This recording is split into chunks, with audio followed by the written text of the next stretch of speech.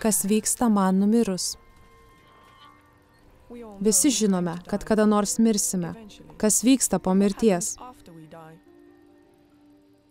Galbūt mes tiesiog nustojame egzistuoti. Mūsų kūnas tampa dulkėmis ir viskas. Žaidimas baigtas. O galbūt po mirties kažkas vis dėlto vyksta. Gyvenimas tęsiasi. Galbūt tu atgimsti kaip kažkas kitas. Tada miršti, vėl atgimsti ir tai tęsiasi, kol pasieki nušvitimą ir tampi vienu su visata.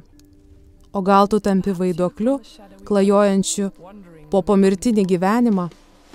Ar tave teisia ir jei esi padaręs daugiau gero nei blogo, tu laimi. Problema ta, kad kol esi gyvas, neįmanoma žinoti, kas yra po mirties. Nebent kas nors miršta, vėl atgyja ir pasakoja mums, kas yra kitapus. Pagal jo pasiekėjus, būtent tai padarė Jėzus. Jei tai tiesa, jis gali mums aiškiai pasakoti apie pomirtinį gyvenimą. Jėzus sakė, kad rojus yra, bet egzistuoja ir pragaras. Tavo reakcija tai yra svarbi, nes nulems, kaip gyvensi savo gyvenimą ir ar būsi pasiruošęs tam, kas laukia po mirties. Ne vienas iš mūsų nežino, kada ateis mūsų eilė.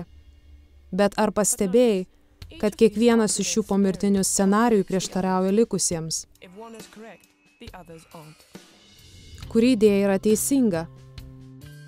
Vienas šių scenarijų yra unikalus. Jėzus Kristus yra vienintelis asmuo, iš tikrųjų nugalėjęs mirti.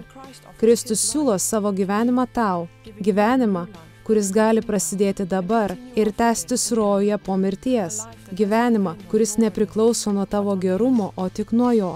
Ar esi pasiruošęs mirčiai? Tu gali. Aš esu prisikėlimas ir gyvenimas. Kas tiki mane, nors ir numirtų, bus gyvas. Jėzus Kristus.